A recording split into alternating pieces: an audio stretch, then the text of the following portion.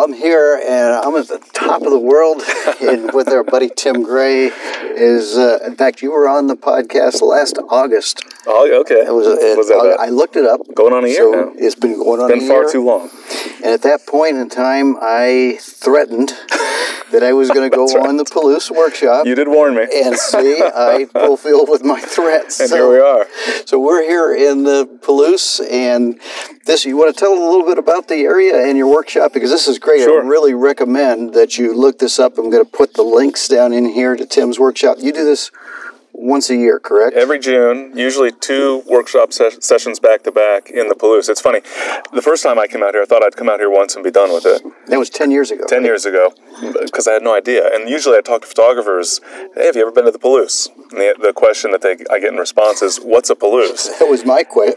yeah, and then you come out here, and you know I've got a pretty short attention span, but somehow ten years we've I've spent three to four weeks every year for the last ten years out here, and it never gets old. I mean, the landscape is just phenomenal. You think of a wheat field, and it's just a straight line, right?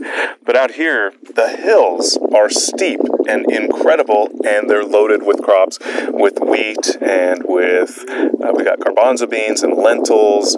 There's a this year a ton of canola, lots and lots of canola, which is Somebody beautiful. described this as the breadbasket with, I guess, all the, the wheat and uh, barley. Yep. Was Some barley, a lot of wheat, uh, canola to some extent. This year more canola than usual, just because I've got an issue with some weeds. And yeah, garbanzo beans They're real known for their lentils, and it's just remarkable. It's a stunning landscape, and it's unique in that it's still family farms. And this was a homestead area, so in the mid 1800s, families came out here, got their parcel of land, built a house, and some of those houses are still here. And we've got farmers who are fourth and fifth generation who are still working the family farm. And so to get to know the people, and it's one of the things that's really great coming out here so many years in a row that I've gotten to know a lot of the locals.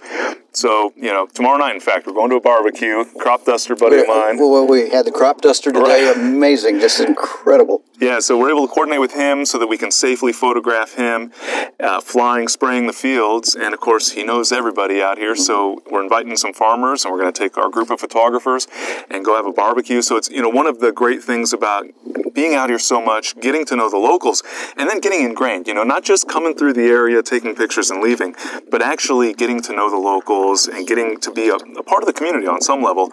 And it's a wonderful opportunity for, you know, our guests, for example, to ask questions of the farmers. Over the years, I've gotten reasonably familiar. I can identify most of the crops. I can explain a fair bit about what's going on.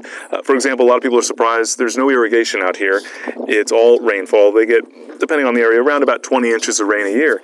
And so I've got some of these nuggets, but the farmers know a heck of a lot more. And so to be able to get info from the crop duster, from the farmers, you know, know thy subject, as uh, many photographers Exactly. quote. And so that's a great opportunity. But I, I tell you, it's just amazing. Every time I'm out here, it, you know, it's peaceful, and that helps. Living in New York City, coming out here is a special kind of benefit. I wish we could show this because as far as the eye can Oh, see, yeah. there's just nothing but farmland. oh yeah, it's a, and it's around about three thousand square miles. We're about 3,500 feet up here. Yeah, this right up here on top of Steptoe Butte, we're about a thousand feet above the average elevation down below.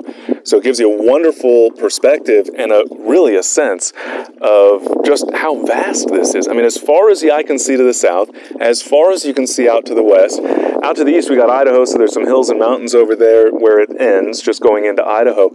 But it's just, it's a huge And area. The, yeah, the Palouse is not just here in Washington. Uh, It covers a much broader area than that. Right, it does go into Idaho a little bit, the Right. Panhandle, but all the way down to the Snake River, uh, up pretty close to Spokane. It is a big area. You uh, started to explain, uh, to the best of your ability, what Palouse or how it got the name Palouse. Yeah, there's uh, some. We've gotten different stories over the years, so I'm sure it's kind of a combination.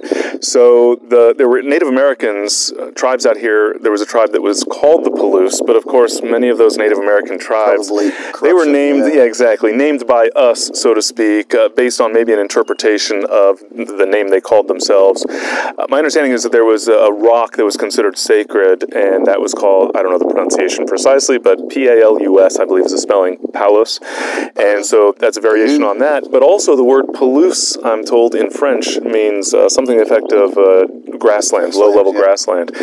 And this was a grassy area. And we get a lot of questions from photographers about, you know, farmers chopping down trees to make way for crops. I don't think there were any trees. No, very Maybe few trees. Millennia ago, but Certainly, many have been planted since in a lot of the towns, and then they'll grow along the creeks and streams and rivers, but just not that many uh, uh, trees out here. And it's mostly, you know, very interesting as well. This area was carved out by glaciers. We've got a basalt base, volcanic base, and what we see here, they sure look like sand dunes because essentially they are sand dunes. yeah, rolling hills. Yeah, this is blown in by winds, and so it's a very silty soil, but it's wonderful topsoil. It'll be you know 100 feet or more deep in areas, very very fertile. So it's very productive land, but it literally is sand dunes of topsoil essentially that they're farming, and it's just uh, spectacular and amazing. And I'm going to give a big fotobug thumbs up to Tim's workshop. I believe this is the second workshop I've been with you, uh, second or third. Yeah. I can't remember. And Tim always goes out of his way to explain, help people out. He's not just here taking his pictures. Right. Poor guy has, I think, he hardly used his camera. So I'm going to put, again, the links in here and urge everybody out also to subscribe to your newsletter. And you, aren't you doing a podcast or you have videos now that you're. Primarily videos, yes, through the Grey Learning website. But you know, you can sign up for the Ask Tim Grey email if you don't mind an email every day. Uh, Yeah, I don't know how he finds time to do it. We've said that before, but uh, Yeah, it's a question and answer email, so I try to answer a question every weekday from a photographer on a wide variety of subjects related to photography, and that's free to receive if you don't mind the email. There's a weekly digest version of it that we started up a while Yeah. back for those who'd rather have it just once like a week. daily. I, I, you know, it's funny. I always thought daily is too much. People are tired of getting email. And whenever I go to an event and talk to photographers and say that I'm thinking about just making it weekly, they say, no, no, no. That's how I, you know, drink my coffee and read the, the news in the morning. Is, That's right. You know, with checking out the question and answer for the day first and foremost. So and this isn't the only workshop you do. You have uh, True. additional workshops as well. we, yeah, so we've been doing the Palouse for about 10 years now. Uh, Now that I'm living in New York City for about, I think it's been eight years now. We started a few years ago Coast to Seattle to New York City. long drive. But uh, so we have New York City photo workshops. We've done Rome the last few years. I think we might next year do an Austria workshop. We had done Austria maybe about five years ago after I'd been making lots and sehr lots of trips. It is, oh my goodness, a like- beautiful like country. Austria, yes. Yeah, it's a beautiful country. Beautiful people. So yeah, I think for 2019 we've got Palouse, New York City, Rome, and Austria. I believe is hmm. probably going to be on the on the table. So go check it out. Like I said, you wouldn't. You're not going to be disappointed. Thanks, Jim. and it was also nice meeting your lovely wife, Renee. Oh yes, So, she's a big help. well, we should bring her in here, but I don't think she likes going in front She, of the she's the shy one That's here. right. well, Tim, thank you so much. Thank I you, appreciate Jim. it. Pleasure. And we will have you back. Excellent. All Look right. forward to it.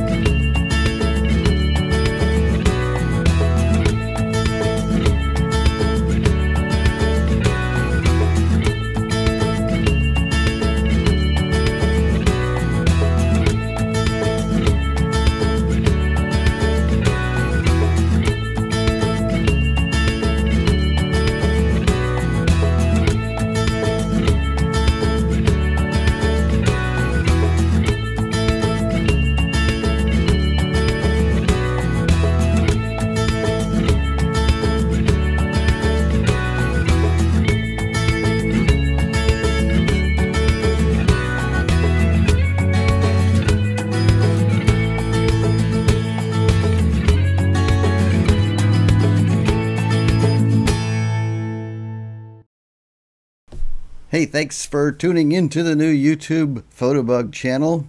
And we hope that you're going to subscribe. So click on the subscribe button down there. That's right. And if you want to be notified ahead of time when we have a new feature coming up, click on the bell. And finally, while you're at it, how about giving us a thumbs up?